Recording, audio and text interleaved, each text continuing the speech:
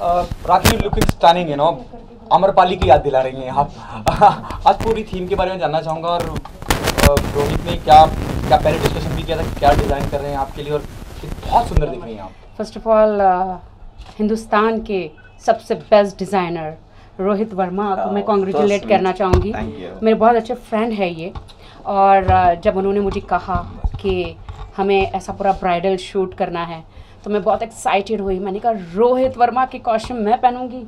And I was so excited और मुझे इनकी जो lehenga choli bridal wear gown saris जो है मुझे बहुत पसंद है। इनका कलेक्शन इज़ अमेजिंग मैं मैं मैं मैं नहीं रहती हूँ। इनके कलेक्शन मैं एक सिंपल राखी सावंत हूँ और मुझे डिवा कहते बना देते हैं रोहित के कॉस्ट्यूम आप मुझे देख रहे हैं पूरा मेरा मेक ओवर किया है रोहित ने। आई लुक सो डिफरेंट एकदम bridal and amazing collection. Okay, Rahul, uh, you know, Rohit, the moment we see her, it, it reminds us of Amar Pali. You know, she looking stunning. You know, even even her costume, her jewelry, you know, accessories looking stunning.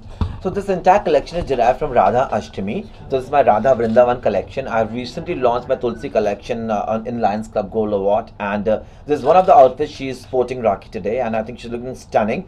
I think so. Uh, Rakhi has got a very very charismatic personality, and think she's a, a woman uh, which have which she's very unapologetic woman, and she's bold, she's sexy. So I think so. n- nobody could look uh, bold as La- Radha like this. So I think the, she was the ideal place to sh- shoot for this collection. Okay, what's the theme of of, of the of the current collection? You know, it's it's, it's something uh, related to 26 January, which is which is Yes, so that's the reason we have got green over here, we've got white over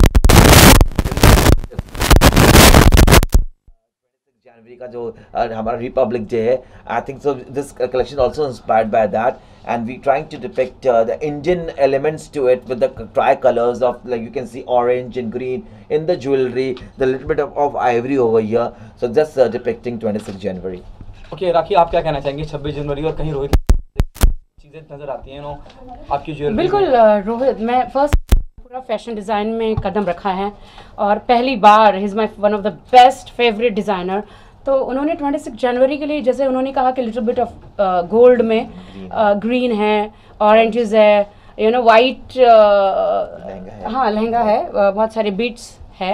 तो एक नया style में एक uh, मुझे present किया है पूरा uh, बहुत ही अमेजिंग ये स्टाइल है। And I feel very nice मैं जितनी बोल्ड हूँ मुझे लगता है कि उन्होंने मुझे एकदम एकदम बोल्ड वुमेन एंड एकदम हिंदुस्तान की यू नो एक लक्ष्मण रेखा को दिखाते हुए एक उसकी यू नो हमारी संस्कृति को प्रेजेंट करते हुए एकदम मुझे वाओ अमेजिंग मुझे बना दिया है उन्होंने। दैट्स लुक्स मैं ऐसी कभी था थी नहीं तो इन्होंने मुझे एकदम मेरा डिफरेंट अवतार किया है। Okay, tell us about you know working with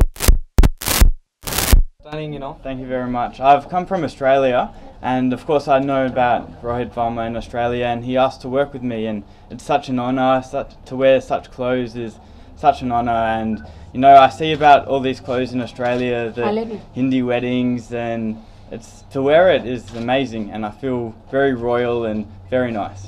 Yeah. What do you say about, about Rakhi Sawant? You know, she is one of the most famous personality yeah. here in Bollywood. Yeah, I know, and it's such an honour to work alongside her, and just to get the photo next to her is an absolute honour. And um, yeah, I look forward to showing all my family and friends back in Australia. Okay Rakhi क्या आप अपने आप को 21वीं सदी की अमर